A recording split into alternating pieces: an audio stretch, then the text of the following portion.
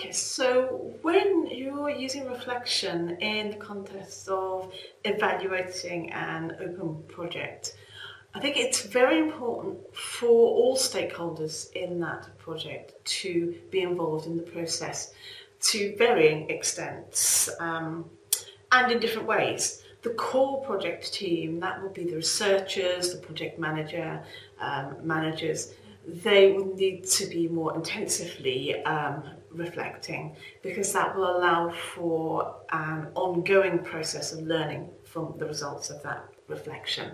And that then needs to be central to the evaluation process. But other stakeholders, for example, funders, people upon whom the project is intended to have an impact, um, other collaborators, partners, they um, should in some way get involved in the reflection process. And that could be via things like feedback um, surveys, feedback questionnaires, um, interviews, anything that allows uh, them to reflect and you to learn from their reflection. So with all these disparate stakeholders involved in the process of reflection, it's actually pretty important to have some sort of structure guiding that reflection, so providing a framework.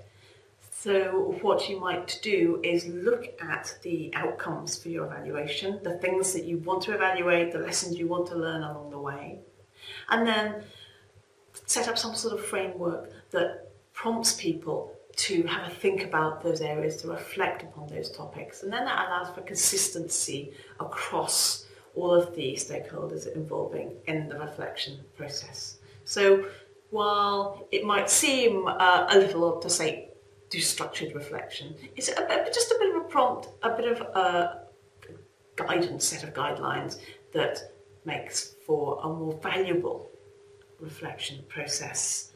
Um, Another consideration is that while it's absolutely fine for some reflection to be totally personal and very private to yourself, um, and in fact, when I was um, working as a research associate on the OER Research Hub project, there were some times when I certainly wouldn't be sharing the results of my reflection. Let's say if something went a bit wrong, and I'm thinking, right, I'm going to learn from that myself, but perhaps I'll be keeping a bit quiet about it. But, but generally, it's best if the results of reflection are, are shared, and it's a collaborative process. So um, this in turn will allow for a dialogue around what can be learned from the reflection. In this instance, it can be useful then to have a reflection journal, a collaborative document to which all um, stakeholders have access, or perhaps a core group of stakeholders have access to allow um, all people involved to see each other's reflection, have a think about it, and then reflect on it.